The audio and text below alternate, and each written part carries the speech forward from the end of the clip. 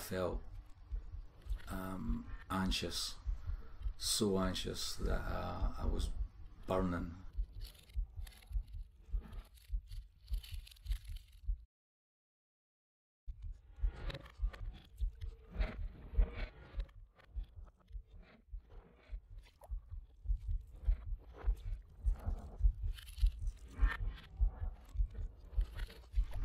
I was, um, my heart was beating really fast. I couldn't sleep. I got tireder and tireder because I couldn't sleep because I was worrying. I was worry, worry.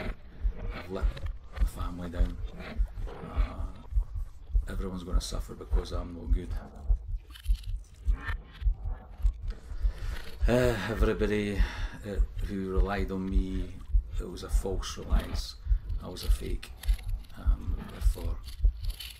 Worried even more about what financial disaster I'd put on my family.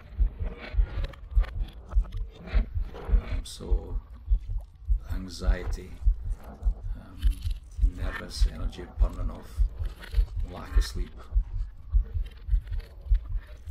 Uh, I remember vividly uh, curling up in a ball in the living room floor, howling, not even crying, howling, saying how shit I was. Um, yeah, I felt so bad. That was that was that's all I could do. I just wanted to be taken away from home.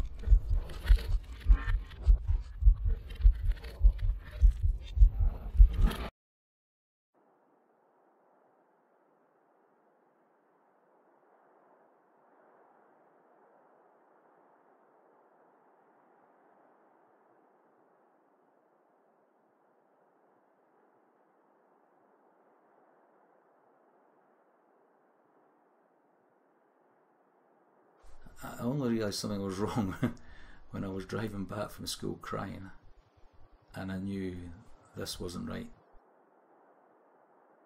It was a build up of stress and work and expectations of work, and then finding that I, I couldn't do it. Um, I wasn't alone, other people were struggling with it, but I just thought, I can't do this, I can't do this. Why? What's wrong with me? Why can't I do it? I'm a failure.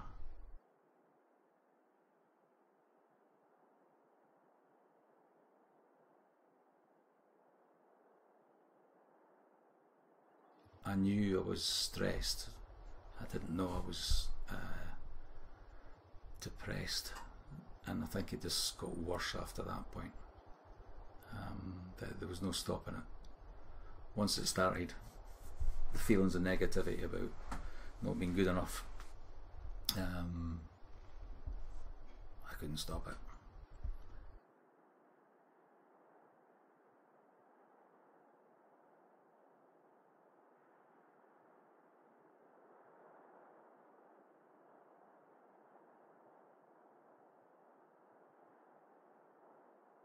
The whole thing made me feel that I was worthless. So um, I didn't want to meet anyone. Uh, I didn't want to speak to anyone. I, I, I was so worthless there's no point in. I shouldn't be indulging my hobbies, which I love, my cycling and my books. I couldn't do that. I couldn't. I could see, and now I can, that these are the sort of things I should have kept doing. I should have kept in contact with people. I should have gone out on my bike. I should have gone to the cinema. I should have done this. I just had to hide because it was an embarrassment and I was a, a worthless human being.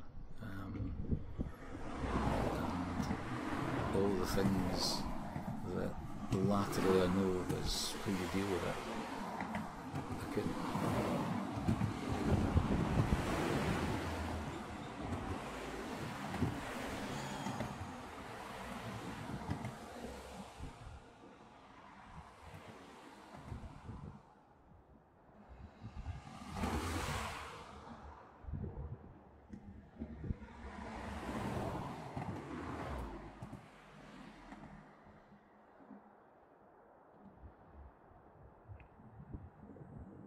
It consumed me. Finding a way to kill myself that nobody would get hurt with. I.e., if I I didn't want to jump in front of a train in case the train driver had to suffer so. I didn't want to hang yourself in the forest because some kid might find you. But I didn't want to kill myself. But I did.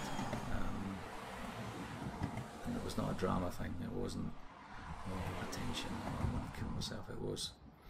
I'm a useless piece of shit. Uh, I'm no good to anyone. The whole everybody would be better off without me. Which doesn't make sense. Now, when I see it, it doesn't make sense. But I was so desperate. I was so down. I could understand why people would do it.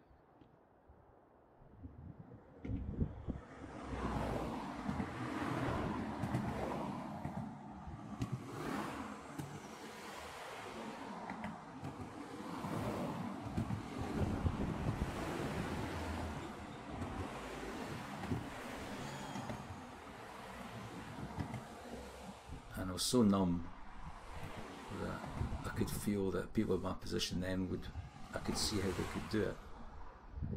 But unfortunately, I knew I knew I couldn't. It was my family. There's no way.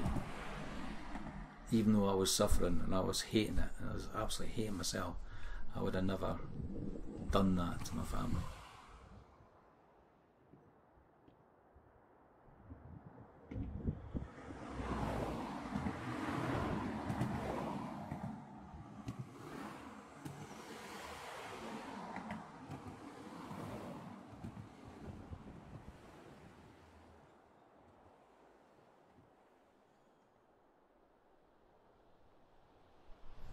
Remember a run, actually being on the beach at Kingsbarns, and um, thinking, because I was away for years all and I was having me time, then I reflected, what a great life I had, this is brilliant. I love my family and this is great, I can do this.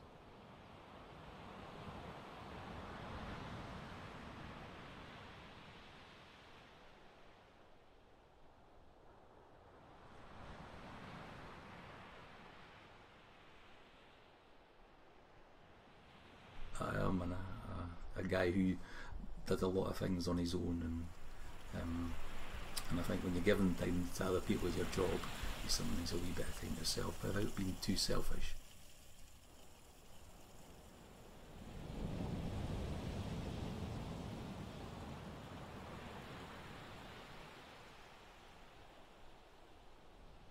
But as soon as I got out there my stride, not a great runner, but in my stride I could the head would clear and then you could just enjoy the experience. So you hear the birds, you listen to the sea crashing in, you, you feel tactile the sand, um, and the experience of being doing that sort of thing. So I could enjoy the surroundings.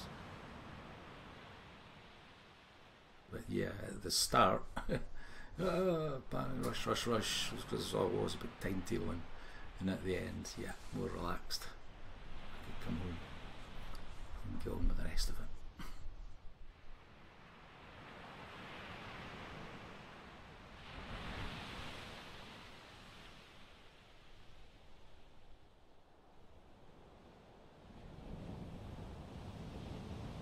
I know that I've had these issues.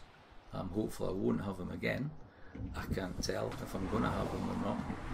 I don't know what's going to kick in. You know, I didn't think I'd get it after the second time. But then I went back in that position of responsibility. I had a trigger there.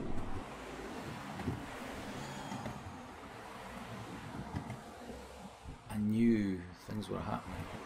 And I knew that I didn't want to be ill. And I knew that I should be doing certain things and doing all these different techniques, but I couldn't stop. That, that, that was also a frustrating thing that to have this experience of two big episodes and then the third one to come again and know and be aware because I, was awareness of the triggers and stresses and because I couldn't get a grip with that that made it worse.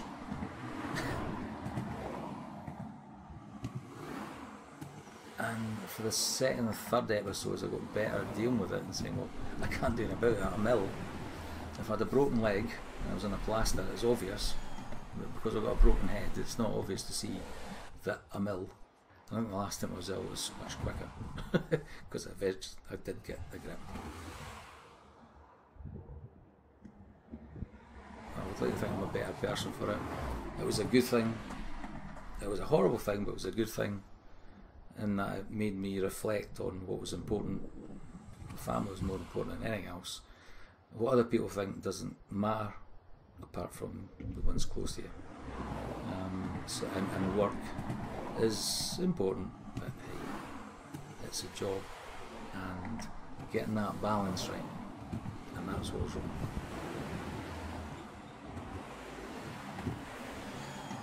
The boys, I don't know, that we talked about, and I think they weren't fully aware just how seriously ill it was, which is brilliant because we we're too young to deal with that at the time. But good to talk about now.